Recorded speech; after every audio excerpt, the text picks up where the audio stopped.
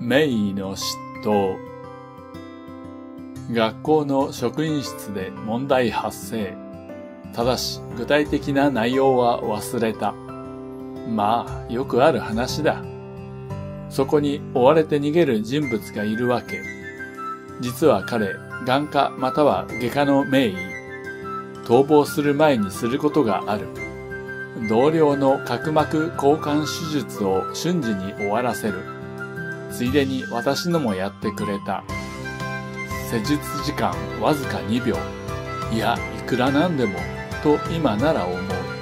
だがその時は当事者として信じてしまった。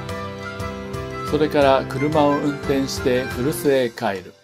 というか、自動操縦にしがみつくようにして、やがて雪でも降ったか渋滞が始まる。ここが古巣か、市場の前に駐車する。上司がいたので驚くべき名医の話をする。費用は20万円だけど、わずか2秒ですよ。彼は疑うも私が信じているので感心する。施術費用を払ってくれるそうだ。さすが太っ腹である。